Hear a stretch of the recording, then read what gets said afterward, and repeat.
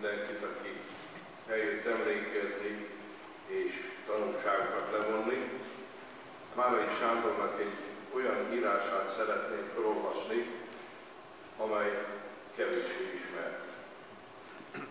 Szentpéter Bazilikában imádkozt el, amikor az Egyesült Államokból jött, hogy segítsen saját írói tehetségével, de akkor már megtudta, hogy forradalmat leverték, és tőle sokatlan áhítattal, már egy jól ismerjük, ez kevéssé jellemző rá, betér a Szentpéter bazilikába, és ezt írta le erről a találkozásról.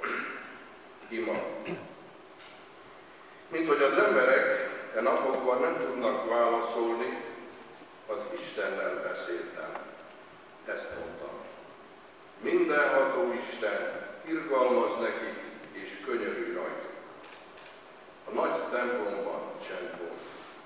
A római Szent Péter templomban mondottam ezt, Michelangelo Pietája előtt. A kora reggeli órákban szólván senki nem volt a templomban. A felső világítás fénye a szobor női arcát világította meg. Ez az arc komoly, indulatmentes. Van egy foka a fájdalomnak, amikor az emberi öntudat kikapcsol. Michelangelo ezt a pillanatot mintázta meg az arcban. Az anya, aki halott fiát térdén tartja, nem sír, nem sopákol. Komolyan néz figyelmesen. Mint hogy könyörgésemre senki nem felelt, nem tettem más, mint én is figyelmesen nézelődtem és vártam.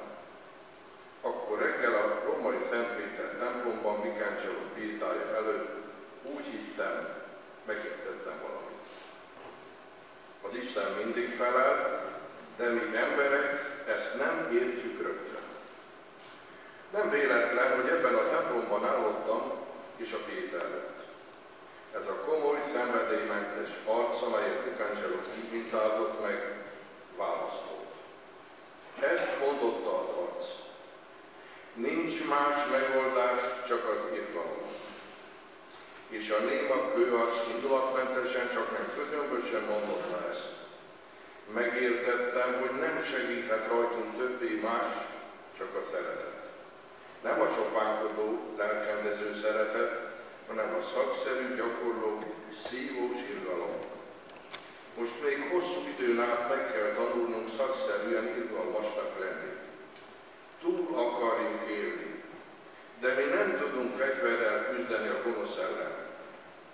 Elmondtam a mi Először életemben mondtam el úgy, szó szerint, betű szerint, mint aki az utolsó szó jogán beszél. Mikor ezt a mondatot ismételtem, és bocsáss meg a mi védkeinket, miképpen mi is megbocsátunk az ellenünk védkezőknek, megértettem, hogy az Isten felel. Ezért tovább imádkoztam. Ezt mondtam. Hiszek egy Istenben, a világ teremtőjében. De nem hiszek többé abban, hogy mindazért, ami történik a világon, a felelősséget át lehet állítani az Isten gondviselésre. Vagyok a felelős, én, te, ő. Körülnéztem, de nem láttam a nagy templomban senki elemet. E pillanatban ezek óta először megnyugodtam.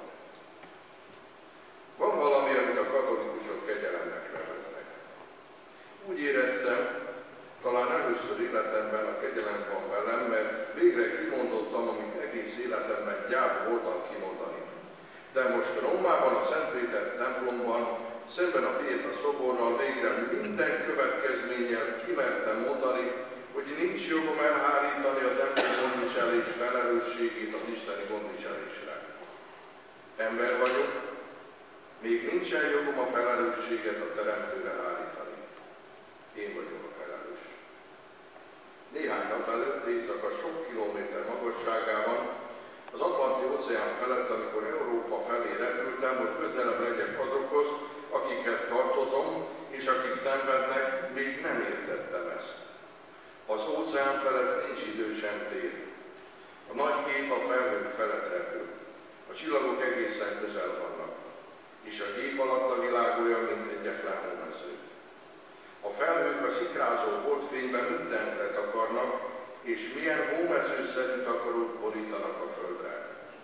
Semmi más nem látni, órákon át csak a felhőket a magasból és a sötéteget, amelynek csillagai kézzelfoghatóan közel szikráznak.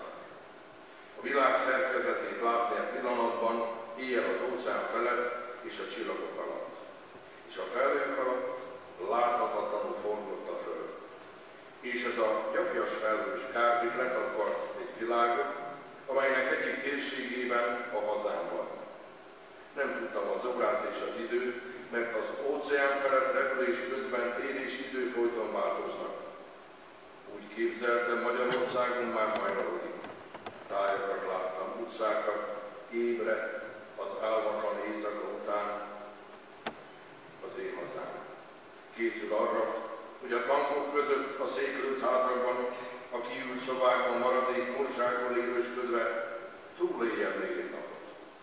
A felhő alatt, amelyen a gép most átrepült, nagyon sok ország volt. Több földrész, sok nép. Abban a pillanatban éreztem mindezért, ami hazámban történik, nem csak az embereket lehet felelősségre vonni, hanem az Isteni gondviselést is. Aztán partot értek Európában, és sok emberrel beszéltem. Menekültekkel, írókkal, papokkal, diplomatákkal. Mindenki más vádol, másban kereste a felelősséget. És az Egyesült Nemzetekben, mert nem cselekszik ez az intézmény azonnal és hatékonyan. A franciákban és az angolokban, mert háborút kezdtek Suezben. A fogoly népekben, mert nem lázadtak fel, nem siettek Magyarország segítségére. A diplomatákban, a katonákban, az tudókban. Mindenki vádolt és mindenkinek volt valamelyes igaza. Csak Magyarország nem vádolt senki. Most, amikor a hét a női arcát nézem a római templomban, megértettem, hogy ilyen Magyarország arca is. Figyelmes és közömbös, mert nagyon szemben. Hungária így hajol a magyar nemzet felé. Már nem vádol, csak figyel és vár. És mindakik még élünk magyarok otthon és a világban, annyira élünk, amennyire Magyarország él. Megértettem, hogy a felelősség a miénk. Nem lehet többé elbújni kérdéseinkkel az Isten gondviselés mögé.